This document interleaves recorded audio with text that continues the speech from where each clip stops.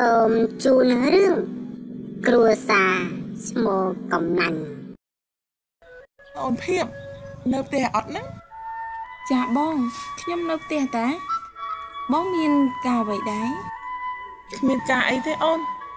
បងគ្រាន់តែយកសម្លមួយចានឲ្យអូនសាក់មើលហ្នឹងណាអូពិតជាអរគុណបងច្រើនណាស់ឲ្យរួចនាងក៏ត្រឡប់មកផ្ទះវិញ បានសម្លមកពីណាអូន យើងដូចគ្មានសាច់ញាតិទេ បងសាក់ទីសាក់មើលអូបងមិនដឹងទេនេះតើណាណាទៅ គឺគ្រួសារបងម៉ៃអ្នកចិត្តខាងយើងនឹងណាបងអូចឹងទេអូនឃើញទេសេចក្តីព្យាយាមនៃការធ្វើអំពើល្អរបស់ពួកយើងពិតជាបានផលល្អមកវិញមែនចាបងមែនហើយ នេះជាមូលហេតុដែលអូនស្រឡាញ់បងនឹងនៅតស៊ូលំបាកជាមួយបងជានិច្ចទោះមានរឿងអ្វីកើតឡើងក៏ដោយចាប់ពីពេលនោះមក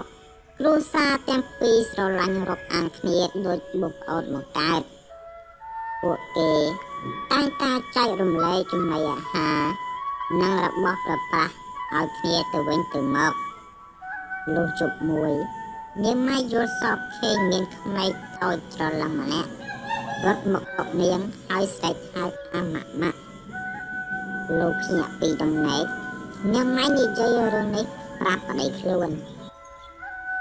បងយប់មិញអូនយល់សពឃើញក្មេងស្រីស្អាតអូនច្រឡឹងម្នាក់មករត់មករកអូនហើយហៅអូនម៉ែម៉ែ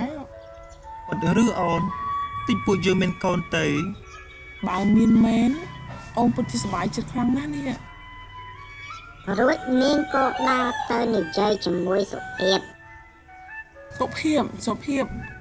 អូនឯងជួយកាត់សពបងបន្តិចមើលយប់មិញបងយល់សពឃើញថាមានក្មេងស្រីតូចច្រឡឹងមកហៅបងថាម៉ែម៉ែអូនពិតឬបងមុនដំបូងពេលមានមីអូនក៏ខ្ញុំយល់សពឃើញអញ្ចឹងដែរមិនយូរប៉ុន្មានខ្ញុំក៏មានតំងន់មែន បងពិតជាសប្បាយចិត្តណាស់ព្រោះបងចង់បានយូរហើយ ចាបងខ្ញុំជួយអបអរបងផងរយៈពេលចេះតែកន្លងទៅ នាងម៉ៃបានឆ្លងទន្លេទទួលបានកូនស្រីស្អាតដូចច្រឡឹងម្នាក់ប្រកបដោយសុវត្ថិភាពទាំងម្ដាយទាំងកូនហើយគ្រួសារពីរ បានរស់នៅជាមួយគ្នាយ៉ាងសុខសាន្តតរៀងទៅ